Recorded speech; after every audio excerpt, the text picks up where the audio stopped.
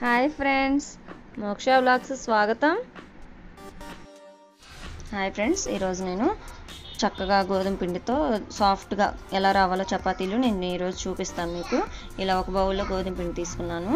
తర్వాత రుచికి సరిపడినంత ఒక టేబుల్ స్పూన్ సాల్ట్ వేసుకోవాలి. తర్వాత ఆయిల్ అండి టూ టేబుల్ స్పూన్ పిండికి తగ్గట్టు మీ ఇష్టం అది. వేసుకున్న తర్వాత ఒక half teaspoon sugar. Sugar వేసుకోవటం వల్ల చాలా సాఫ్ట్గా వస్తాయి.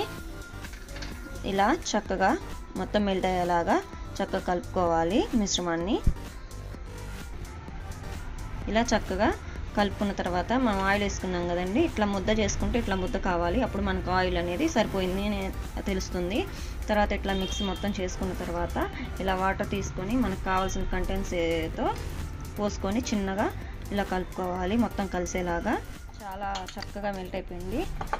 చక్కగా కలుపుకున్నాం కదా. చూడండి ఎంత సాఫ్ట్గా ఉందో ఇలా కలుపుకున్న తర్వాత మీరు ఎంత చక్కగా కలుపుకుంటే చపాతీలు అంత మంచిగా వస్తాయండి అంత సాఫ్ట్గా వస్తాయి.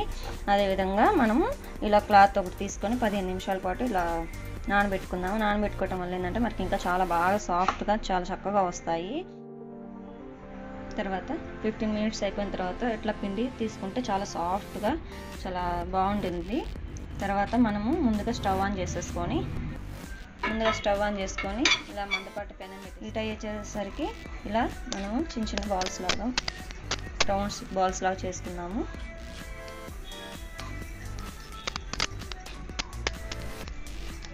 ఇలాగా అన్నీ చేసుకున్నాము ఇలా అన్నీ సిద్ధం చేసుకున్నాను.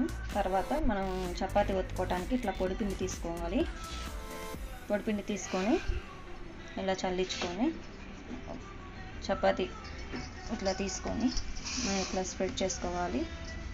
చపాతి కర్రతో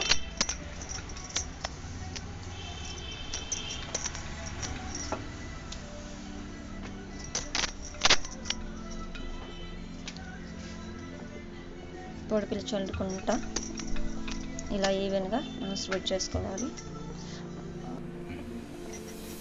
ఇలా ఈవెన్గా స్ప్రెడ్ చేసుకోవాలి. ఎక్కువ మందం కాకుండా అంత పలచన కాకుండా ఇలా ఉండాలి. హెడ్జెస్ అనేది ఇప్పుడు మనం పెనం హీట్ అయిందో చూసుకొని. పెనం హీట్ అయిన తర్వాత చపాతి మనం చేసుకున్నది ఇలా వేసుకోవాలి?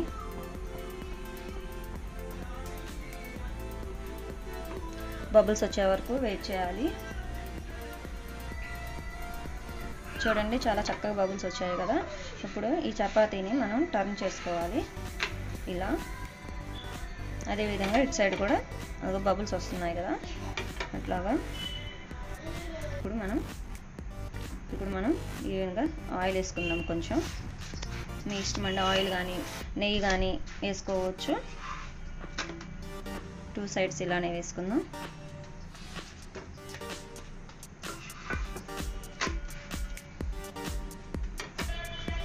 ఇలా చక్కగా చపాతీని మనం ఇట్లా కాల్చుకున్న తర్వాత ఇట్లా తీసి ఒక ప్లేట్లో తీసుకుందాము. ఇలా పిండి జల్లించుకొని తీసుకొని ఇలా పిండికి ఇలా తీసి ఇలా చేసుకోవాలి. ఇలా చేసుకోవాలి.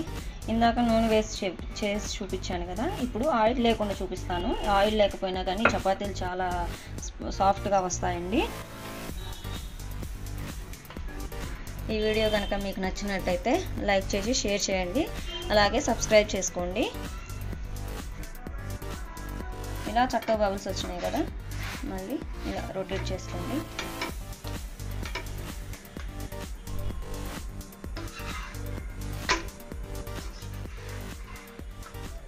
ఇలా చక్కగా బబుల్స్ వచ్చిన తర్వాత టర్న్ చేసుకోవాలి.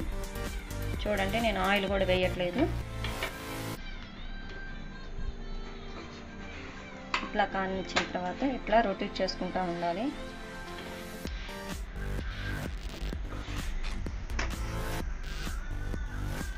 కాలింది కదా? ఇలా ప్లేట్లో సర్వ్ చేసుకుందాం గ్యాస్ ఆపేసి. చపాతీలు సాఫ్ట్ చపాతీలు రెడీ అయిపోయాయి. చూడండి సాఫ్ట్ చపాతీలు రెడీ అయిపోయాయి. ఇప్పుడు ఇది ఆయిల్ వేయలేదండి. చూడండి ఎంత సాఫ్ట్గా ఉంటుందో. చూడండి ఎంత సాఫ్ట్గా ఉందో. ఇది ఆయిల్ వేసినది. చూడండి ఎంతో సాఫ్ట్గా ఉన్నాయి కదా. మీకు నచ్చితే సబ్స్క్రైబ్ చేసుకోండి లైక్ చేయండి కామెంట్ చేయండి.